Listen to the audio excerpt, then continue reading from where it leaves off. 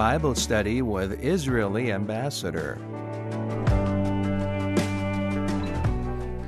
네, 여러분 안녕하십니까? 반갑습니다. 김창수입니다. 매주 토요일 이 시간 아키바 토어를 주한 이스라엘 대사님 모시고 성경 공부하는 시간 갖고 있습니다.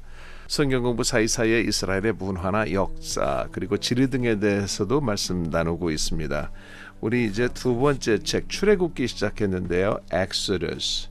대사님 나와 계십니다. Mr. Ambassador, how are you? Shabbat Shalom, I'm excellent. And yourself? Good. I'm doing great. Showing a chim to you and to all of our listeners. 우리 대사님 아침 인사해 주시고 저뿐만 아니라 다 좋은 시간 보내고 계시면 좋겠다는 말씀 주셨어요.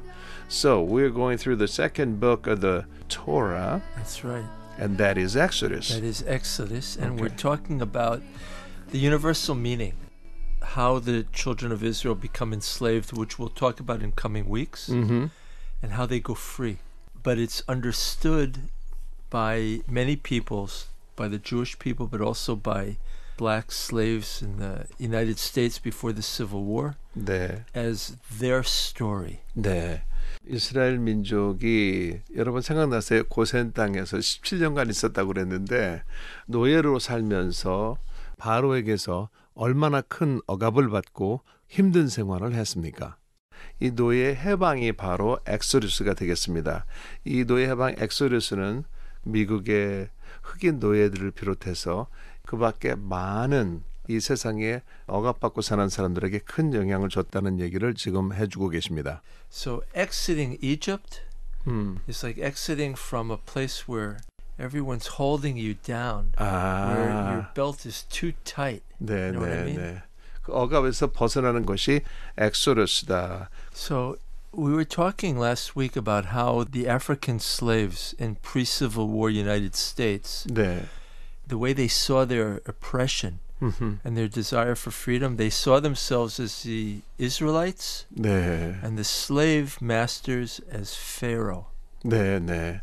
여러분 미국에 남북 전쟁 전에 이런 노예들이 있지 않았습니까? 그 노예들 자신이 애굽에서 노예 생활하던 이스라엘 민족의 비유를 했고 또 노예들의 주인들을 바로라고 봤다는 것이죠. And there's a famous Negro spiritual, which I believe you know the tune to. Let my people go. Yeah.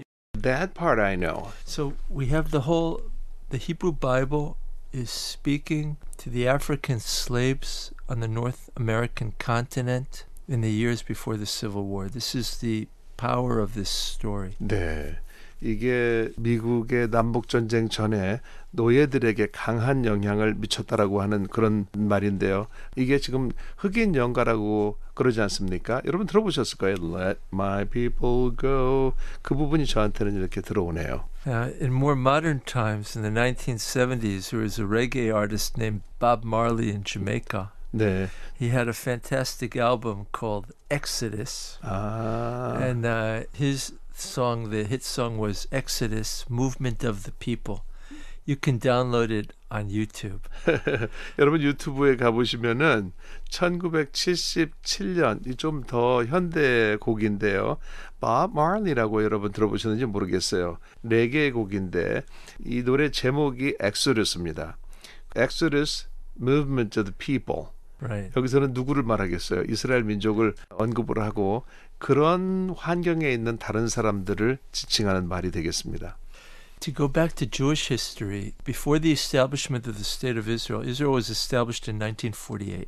네, 여러분 참고로 지금 현대 이스라엘은 1948년에 독립이 되었습니다. But before that, from 1918 until 1948, it was called British Mandate Palestine. The whole land was under the rule of the British. 네, And the British applied a very strict policy restricting Jewish immigration to the land of Israel. 네. 그래서 1차 대전이 끝난 1918년부터 새로운 이스라엘이 독립되기 전 1948년까지는 그 당시에 영국이 British Mandate Palestine이라고 그래가지고 지금 이스라엘 땅을 지배하고 있었습니다. 그런데 그 사람들이 독립되기 전까지는 다른 나라에 살던 유대인들이 들어와야 되는데 못 들어오게 하는 거예요. Only a small number 몇 That's right. 사람만 허용을 하고 So at the end of the Second World War, in 1945, at the end of the Holocaust, 어허, there are hundreds of thousands of Jewish refugees in Europe. Everyone who isn't dead doesn't have a home. right. And they're trying to come home to the land of Israel, and the Zionist movement is trying to establish a state. 음흠. 그래서 2차 대전이 끝나고 1945년에 홀로코스트가 끝나고 홀로코스트 우리 대학살 때 살아남은 사람들이 있잖아요. 그 사람들이 이스라엘 땅으로 오고자 합니다. 그런데 못 오게 하는 거예요. So there was an attempt by the Zionist movement to break the British blockade 네. and to help the refugees come into the land of Israel. 그래서 Zionist movement, 시오니즘이 시작이 되는데 이 사람들이 영국이 지배하고 있는 것을 그 블라케이드를 깨뜨리고 자기 민족을 들어가게 합니다. The most famous ship carrying about 4,500 Jewish men, women, and young people Uh-huh. trying to get to the land of Israel, it was renamed Exodus 1947, coming from France. France. But it was returned to Germany. 그래서 유럽에서 이스라엘 민족이 4,500명이 탄 이 배가 이름이 엑소데스 1947호였는데 지금의 이스라엘로 오는데 이 British Mandate Palestine들이 허용을 안 하는 겁니다. 그러니까 영국령 이스라엘 땅에서 지금 팔레스타인 살던 곳에서 회항을 하게 됩니다. 강제로. 그래서 도착한 곳이 독일이에요.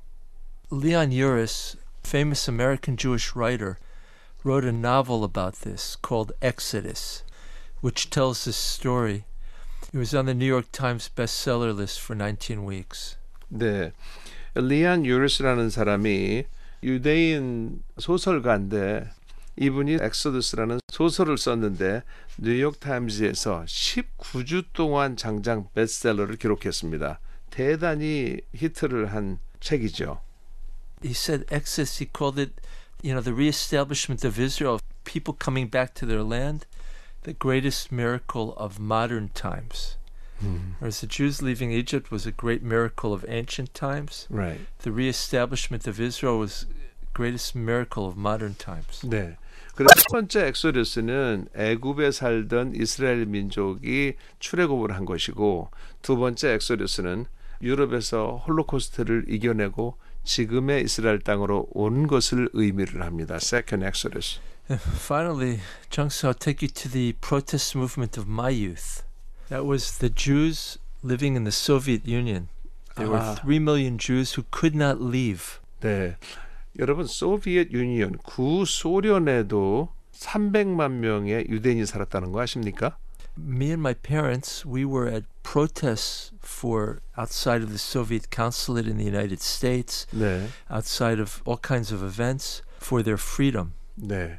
그래서 그 소련에 사는 유대인 300만 명을 구출해내기 위해서 대사님 부모님과 함께 미국의 소련 영사관 앞에서 시위를 하셨다고 합니다. And the slogan, the sign that we all had was, Let my people go. 시위할 때 보면 피켓을 들고 있잖아요. 거기서 뭐라고 써가지고 하냐면 Let my people go라고 적어진 표지판을 들고 시위를 했다고 합니다. And just like back then, Soviet Union, Pharaoh, they didn't succeed. 그 경우에는 소련이 바로였겠지요. 그런데 그 사람들 역시 성공하지 못했습니다. And the Jews were able to leave for their homeland.